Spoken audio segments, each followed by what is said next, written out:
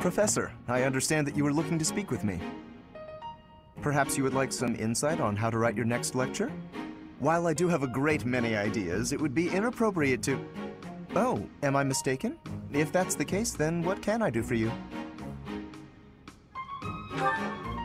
The ladies have complained? To you? About me? Preposterous. there must be some mistake. I am the heir of the noble House Gloucester. It is bred in me to treat all people with respect. Rest assured, you will not find anyone more upstanding than yours truly. Perhaps the issue is that the splendor of my noble presence is driving the ladies to distraction. If that is the crime, I do confess. I hope I've not troubled the ladies' hearts unduly. Outrageous! That's absurd! Who would dare to allege such slander? Of all the... Well, I suppose I have offered several of them the honor of dining with me. It is impossible to tell if even the most well-bred young lady is a suitable companion for me, merely by the sight of her. So, in order for us to get to know each other properly, it is appropriate that we dine together. Thus far, they have all declined, oddly enough. For some reason, they seem to be exercising some form of restraint when speaking with me. I would never insist, of course. But I will admit I have, on occasion, after a day's pause, issued repeat invitations in the fashion and style of a gentleman. What? Ridiculous! Dinner invitations from me a problem? The very idea. I am a perfect gentleman, the son of a noble line. I've a wit like a rapier, and it takes but a glance to see that I'm gorgeous. No, I cannot believe such a thing. Are you sure this isn't the result of some sort of scheme? It cannot be otherwise. Someone has clearly devised a conspiracy against me. Someone who envies my position, who seeks to soil my sterling reputation with foul rumors. How crude. Please, Professor, it is beneath you to fall victim to such petty and obscene tactics. I implore you to take greater care in the future. Now, if you will excuse me, I have a great deal of work to do. Farewell.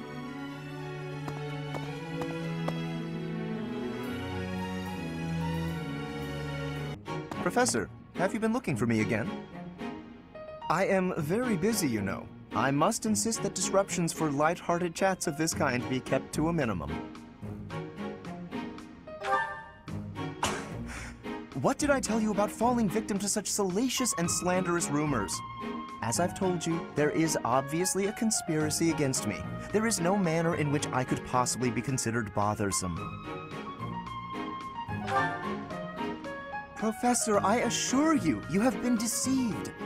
My adversary has poisoned the hearts of these ladies against me. The plot goes deeper than I thought.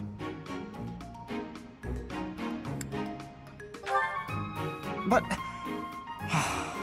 if you truly do insist... Please understand, Professor. I am not some scoundrel out for conquest.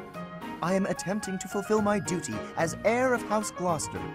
It is my responsibility to continue our noble line by finding a suitable lady to be my wife. It is a rigorous process. My family has the very highest standards for appearance, grace, temperament, and pedigree.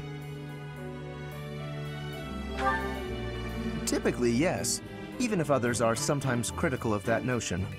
For the nobility, marriage is not merely a union of individuals, it is also a union of families.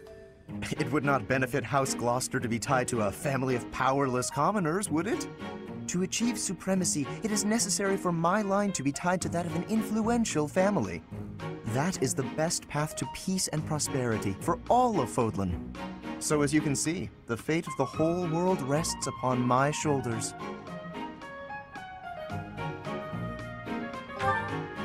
It is nothing out of the ordinary. Those of us with noble blood are born to this duty, you know. That being said, to avoid misunderstandings, I shall restrain myself until things calm down. I would rather not cause trouble for you after all.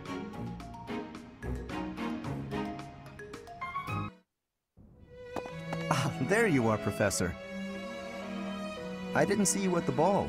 I was wondering where you'd slipped off to. Everyone is waiting for you. Shouldn't you be heading back?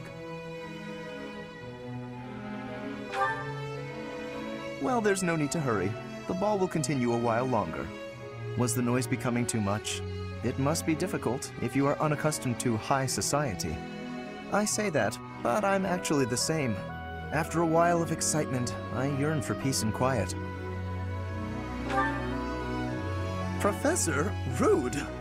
Just what do you think of me? There are definitely students in there making the most of things, flirting as if their very lives depended on it. But for a catch such as myself, every day is an opportunity. There's no need to appear desperate. Still, it's unexpected that the two of us would be here together, isn't it? Do you not know the legend of this place? The goddess is said to grant a special kind of blessing, unique to the day of this ball. It is said that on this day she will honor any vow sworn between man and woman here at this tower. It's a famous legend amongst the students, which may be why I expected to find more of them here.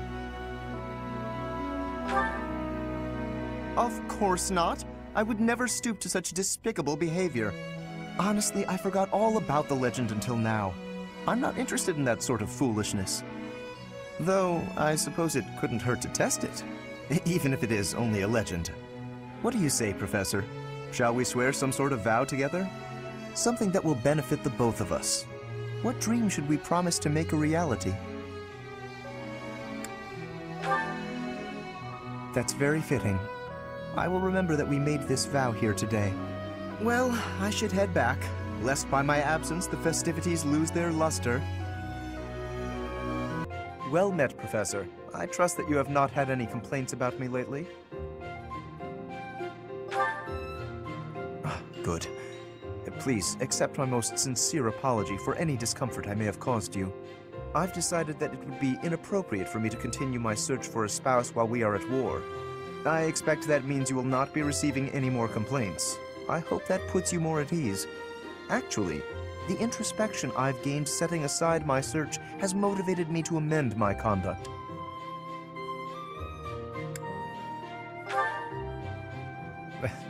Not the phrasing I'd choose, but you're not wrong. Selfishly pursuing my own desires caused me to behave inconsiderately. For instance, it was arrogant and rude to invite ladies to dine with me purely to evaluate them. Our experiences in battle have also given me cause to doubt certain preconceptions I once held.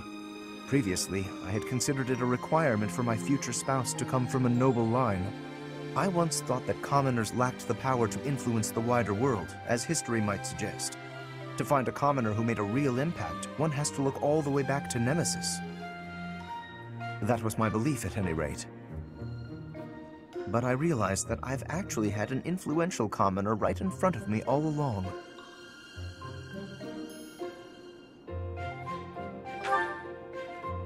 Don't you see?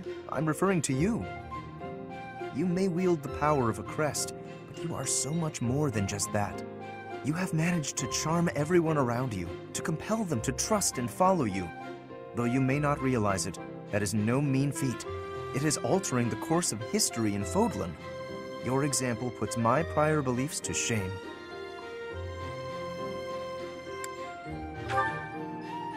I appreciate the kind words. I have always sought to embody the ideal of nobility. That, at least, is a goal I continue to stand by.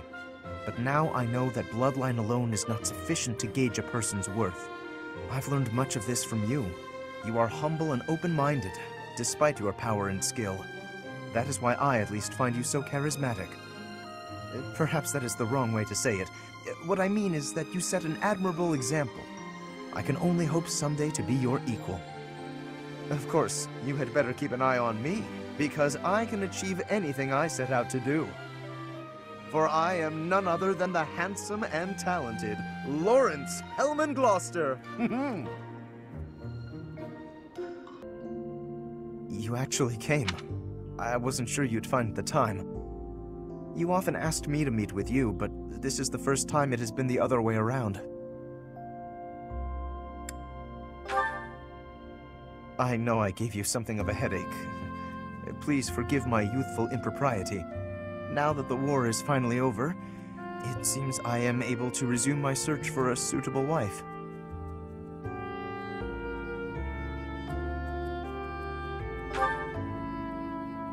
I suppose I do, don't I?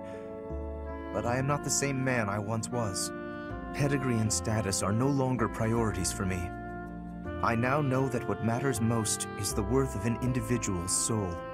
And there is only one person who calls to my heart, one whose incredible qualities outshine all others. That person is you. You'd expected this all along?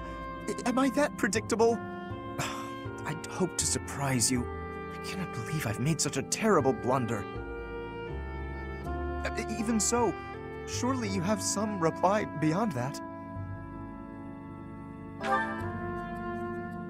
No, I should apologize. I've gone and made you flustered. How abominably rude. Please don't fret about it. I'm no longer the type of person to get upset over others' manners. Do you remember when I said you were charismatic? By that time, I had already become unable to imagine anyone but you as my partner. But I did not feel I was your equal. Since then, I have worked tirelessly to improve, to become a man truly worthy of you. What do you think? Have I finally managed it?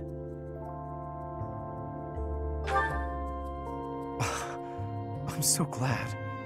To hear you say that makes all the effort worth it. In that case, please hear my humble proposal. I want nothing more than to be yours, now and for all time. Will you do me this great honor? You will? You do? Yes, of, of course this should happen. Not even if you scoured all Fodlan could you find a partner more worthy of you. Or my name isn't Lorenz Hellman Gloucester.